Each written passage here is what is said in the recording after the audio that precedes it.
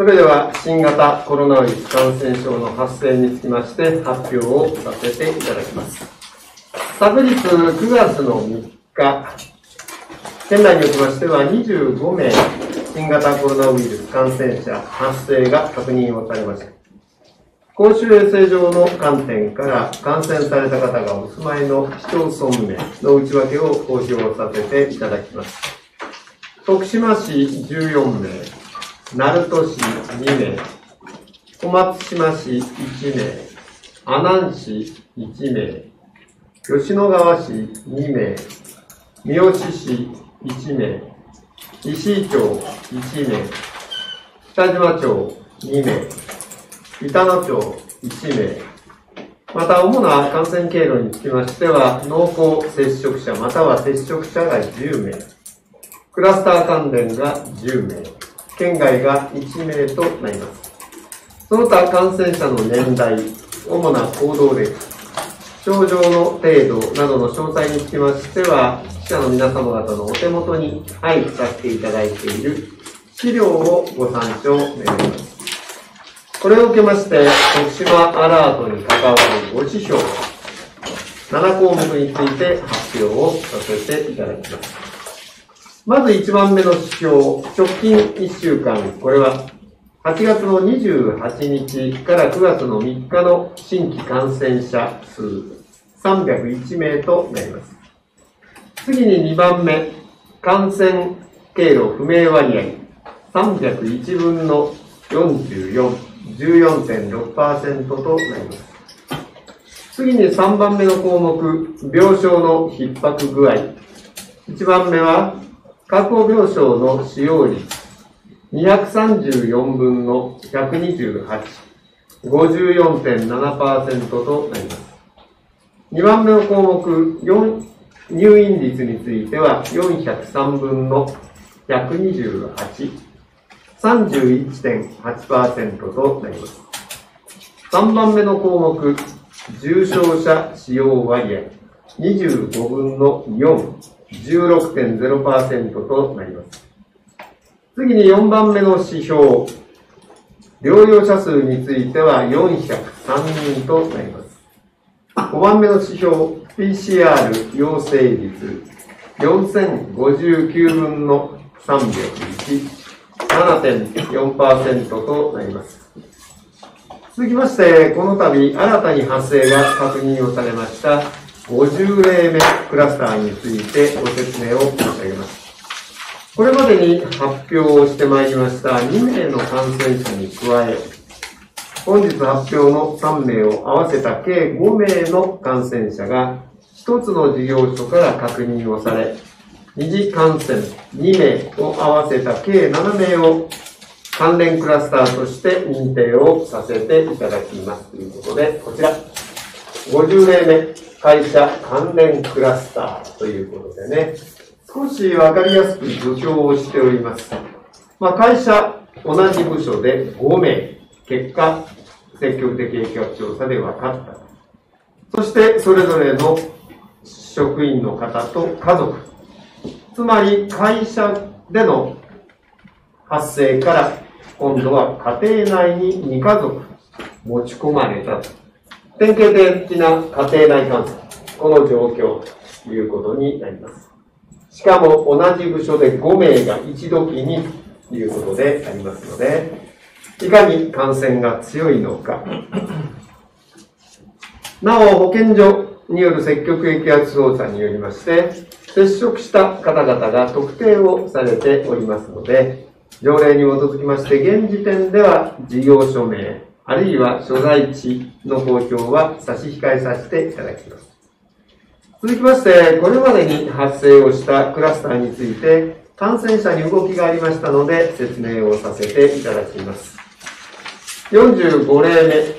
目、学習関係施設関連クラスターについてでありますが、昨日確認をされた職員1名、利用者1名、そして二次感染5名、計7名を加え、陽性者数は全体でなんと42名、大きなクラスターとなりました。ということで、こちらも少し相関関係、わかりやすく書かせていただいております。職員の方で1名と利用者で1名。さらに、家庭内感染ということで、この利用者の方から持ち込まれたご家族、4家族でなんと5名の皆さん方が新たに家庭内感染。いかにこうした一つの場から家庭内に持ち込まれるか。さっきは会社、今度は学習関係施設での、つまり子供さんたちから家庭内に持ち込まれて、その例えばご兄弟である、あるいはご両親とか、まあ、こうした形で移ってくる。今、流行りの子供さんから家庭内に持ち込まれる。その典型の一つということになりました。さて、本日の発表数値は25名ということですが、3日連続で感染者数が前日から減少しているところであります。また全国の感染者数も1万6738となりまして、スフ率の報道によりますと、1週間平均で前の週よりも減少しているところでありますが、引き続き非常に高い水準にあるところで、また本県と交流の深い大阪府におきましても、2305名陽性者確認をされるなど、依然として気を緩めることができない状況となっております。そこで本県における感染状況の特徴について以下申し上げさせていただきます。まず本県において8月以降、先ほども紹介をさせていただきましたが、家庭内感染多く、全体の3割を占めることとなります、本日も8名の陽性者が家庭内感染で認められております。ということで、こちら、もう少し見慣れた8月以降の家庭内感染のその事例ということで、ただこのトレンドで見てわかるように、前半と後半、後半の方も9月も入ってますが、明らかに違いが見えるということで、この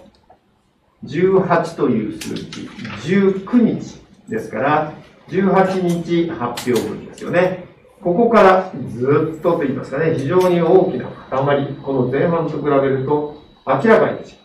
かもこの赤いところは持ち込まれたもの、県外由来です。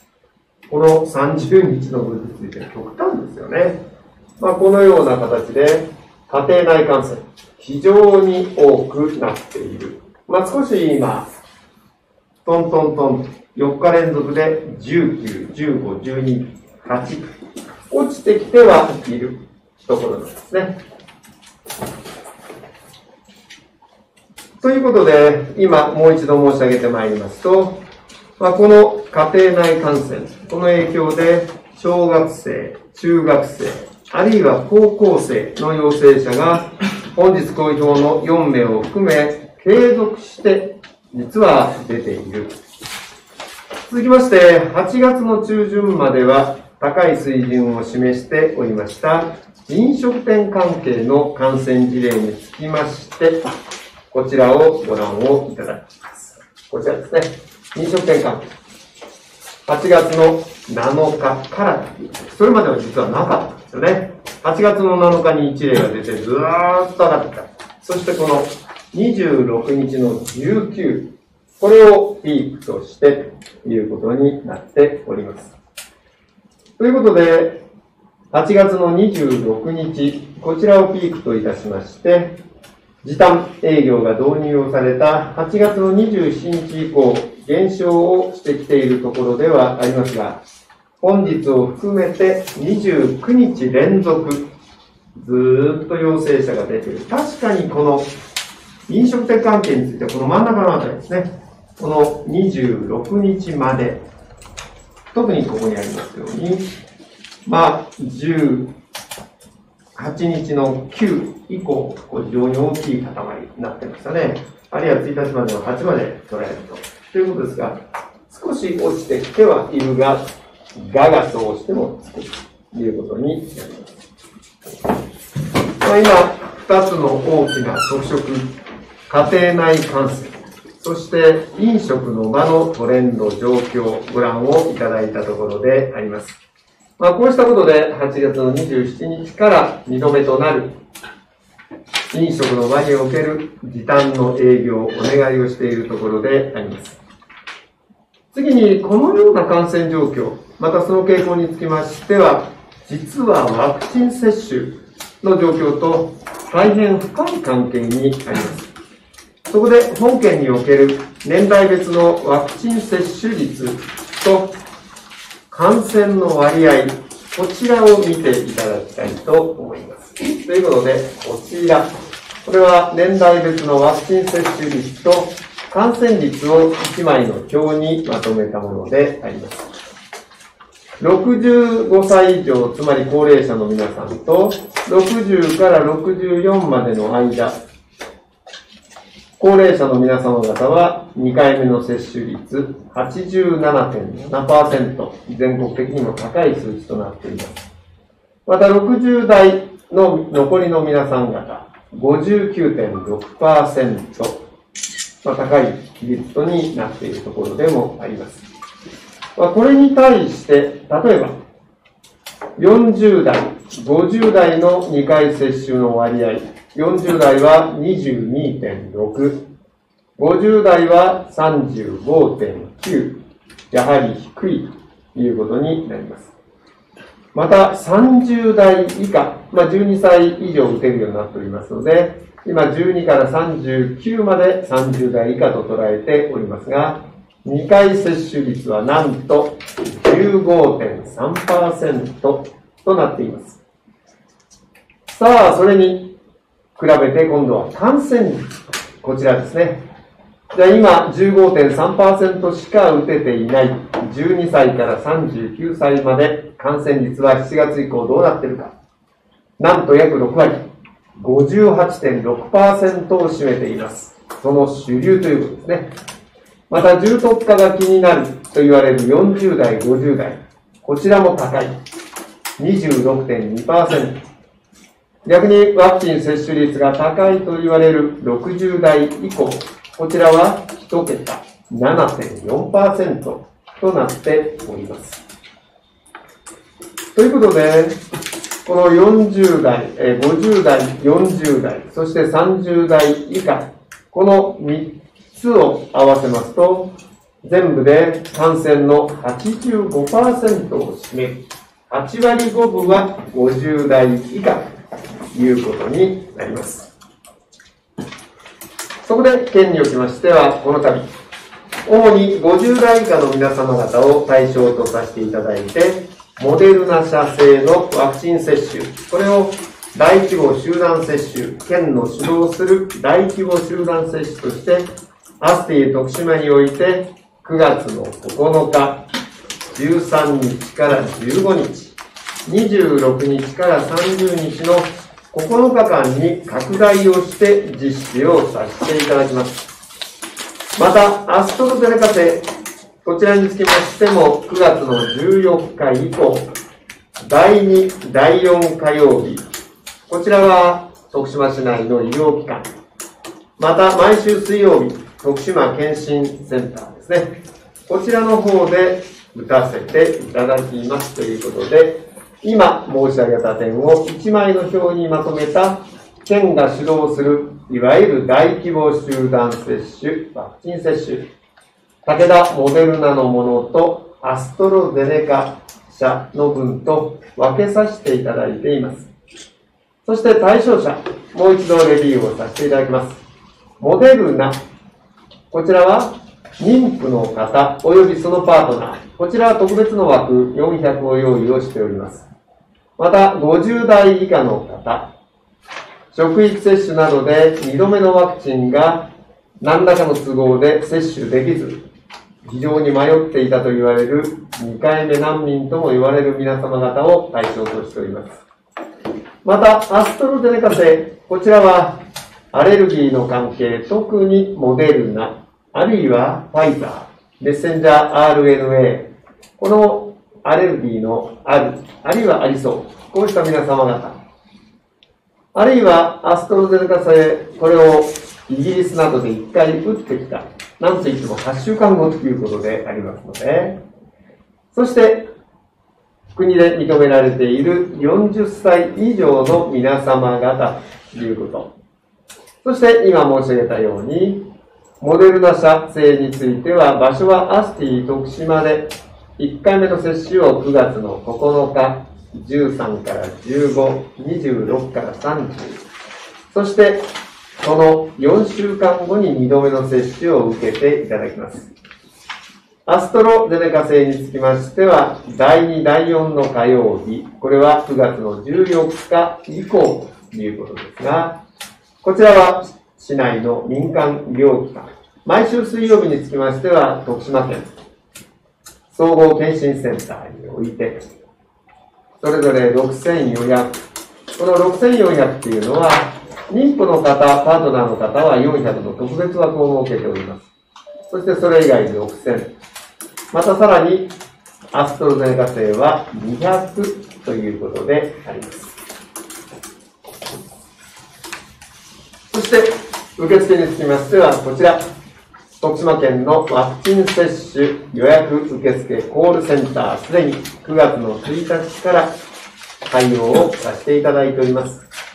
電話につきましては、フリーダイヤル0120コロナ来ない567の571コロナ来ない567の571朝の8時半から夜の20時まで土日祝日も受付をしております。どうぞ予約をしていただければ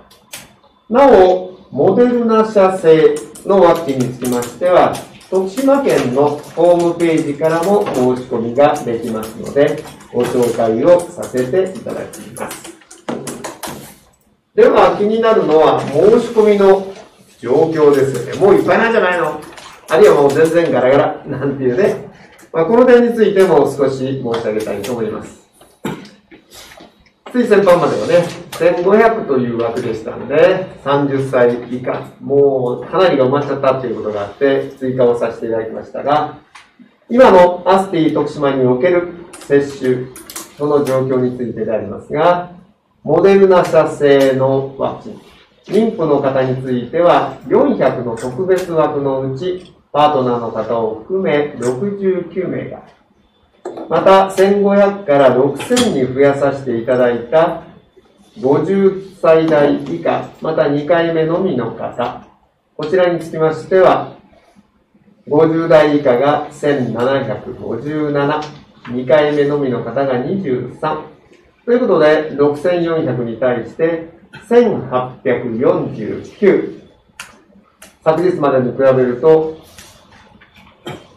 少し楽にいう感じですね。一方で、アストロゼネカ社製のワクチンにつきましては、200に増えたんですが、100から。昨日同様、今日の正午でも55人、ここは増減がないという状況になっております。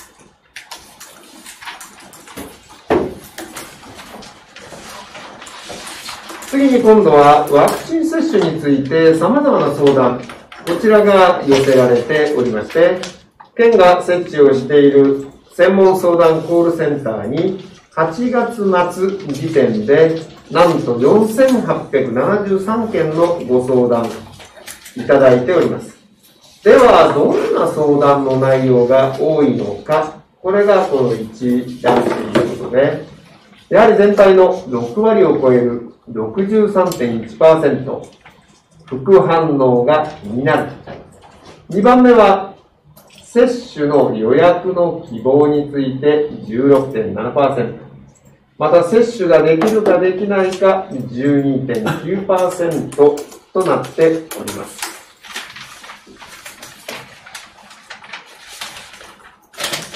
では、特にこの相談が多い副反応。どんな相談になっているのか、皆さん方もお悩みであれば、これが一つのヒントになるかと思いますので、こちらをご覧をいただきます。典型的な3つを取り上げさせていただいています。1番目は、接種後、熱が出た。どう対応すればよいのか。そこで答え、ワクチンによる発熱は接種後1日から2日以内に起こることが多い。水分を十分に摂取をしていただいて、必要な場合には解熱鎮痛剤を服用していただくなど、しばらく様子を見ていただければ。また、これまでに認められている副反応にはどんなものがあるのかな？副反応とはどんなもの？筋肉注射を行いますので、どうしても注射した部分の痛みが出ます。また、先ほどの発熱、全身倦怠、疲労ですね。あるいは頭痛、筋肉や関節の痛みなどが見られることがあります。まあ、ただ、こうした症状の大部分につきましては、接種後数日以内に回復いたします。また3番目としては、ワクチンを接種の後、腕にかゆみ、腫れ、赤み、モデルナアームなどとも呼ばれていますね。赤みが出てきました。どうしたらよいのか。こうしたものは発疹ですね。発疹がかゆい場合は、書くんじゃなくて、冷やす。あるいは抗ヒスタミン剤。軟膏で売ってますよね。あるいはステロイドの外用薬。まあ、軟膏。こうしたものを塗ることで症状が軽くなります。ということで、まあ、一般的に発疹ができるものと対応はよく似ているというものとなります。これが典型的な相談の内容ということであります。そして最後に一点ご紹介をさせていただきます。先日、ワクチン接種に高い関心を持っておられる高校生の方が自らワクチン接種について詳しく聞かせてほしい県にお問い合わせいただいたところであります。そこで、ここはプロの登場ということで、徳島県医師会の感染症対策委員会委員長さんであります。医師の田山先生にご協力をいただきまして、その高校生の疑問に答える動画、こちらを作成をさせていただきましたということでね、こちら、動画と言いながら静止画ですけどね。動画のタイトルは、みんなで考えよう。新型コロナワクチン。専門家に聞いてみよう。ということでね。今のワクチンの副反応は、なんかいろんな噂聞いたんだけど、ワクチンの効果は、ということを、田山先生がわかりやすく、そしてこの徳島県チャンネル、県のホームページからでも、あるいはこの番組自体、今日の発表自体が徳島県チャンネル放送しておりますが、こうした二次元バーコードからアクセスすることができます。そして、この動画の中には、生徒さんたちの SNS など、あるいは友達との間で出てきた一番多い話題、こうした点が出てまいります。私も拝見しておりますが、この動画の中では、よく聞く話、マイクロチップ、これが埋め込まれている、こうした SN 上のデマがあるんですが、先生はこれは十分にデマだ。注射器の針も細いですよ。その中マイクロチップ、なかなかありませんよね。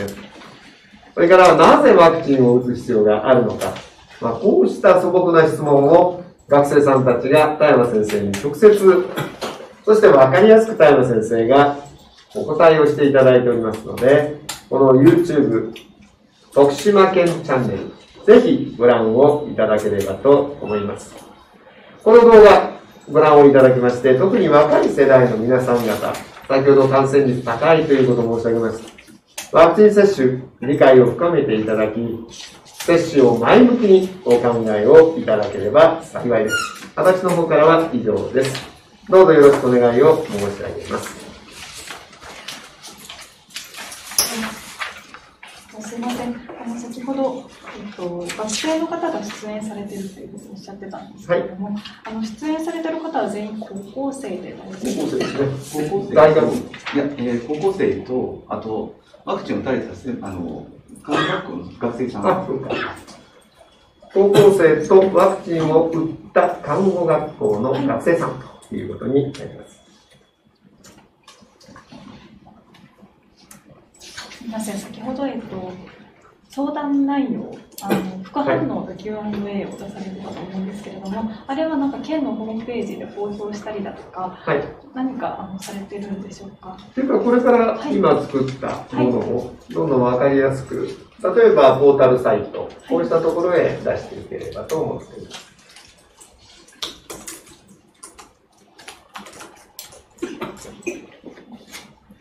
すみません、幹事社からは以上です。50例目のあの会社関連クラスターに関してなんですが、はい、これはまあ同一部署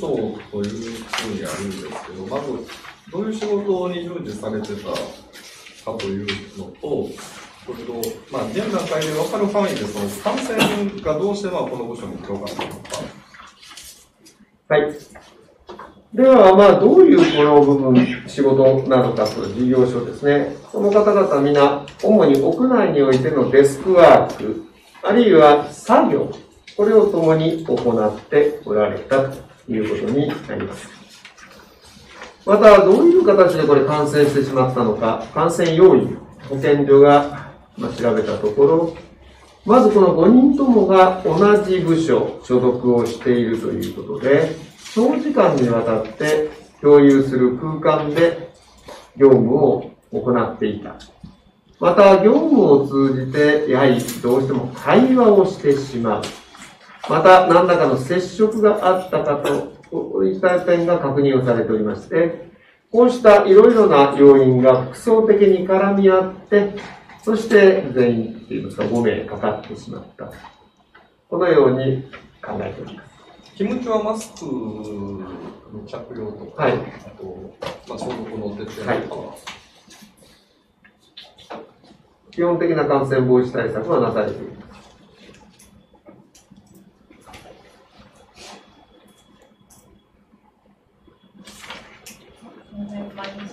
はい、この50名目のクラスターに関してなんですけども、え？えー、このクラスターを受けてこう、まあ、同じ会社の方でこう実際にも検査されてる、人数とかはい、わかりました。まずは一番にやらなければいけないのは、クラスターの封じ込めということでありますので、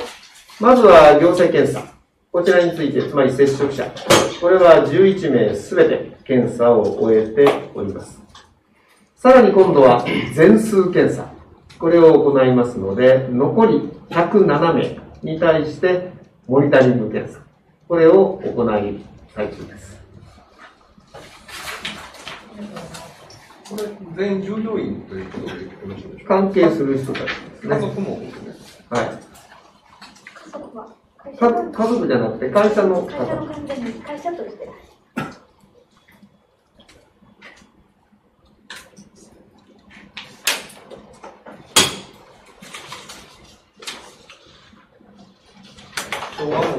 小学生が、えー、4人、4名です。はい、出演されてるんですが、それぞれの学校の対応のようなものがありますか、はい、じゃあ順次申し上げていきます。今日は小学生が4名ということで、この中で学校が対応しているところは1つとなります。こちらについては2840例目。この方、9月の1日、2日に投稿されていたということで、9月の3日から9月の5日までを臨時休業ということになっております。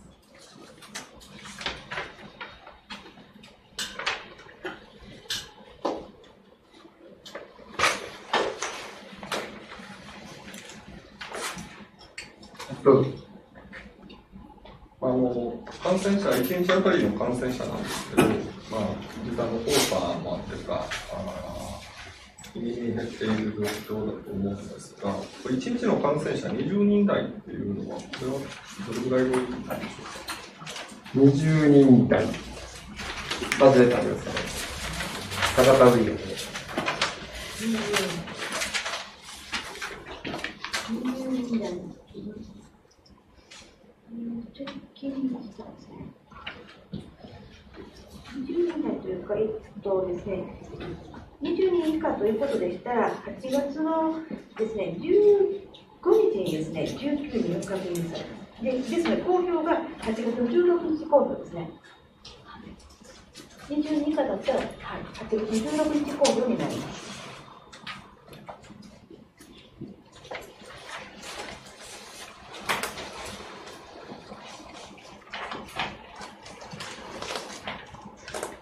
あのワクチンの接種率あのお示しいただいた表なんですけど、はいえー、全部足して、えー、あごめんなさい感染率の部分で30代以下58.6%、40、50代26.2%をお示しいただいたんですが、これは全体の感染者数に占める割合が、えー、30代以下58.6%だったということです。全体というか、先ほどご覧いただいたように、7月以降の数ですね。それで、その全体に占める58.6%が30代以下。もちろんこの12歳から39歳ということになります。まあ、足してあの100%にならなかったんですが、残りのパーセンテージは12歳以下という。そういうことです。未満。12歳未満。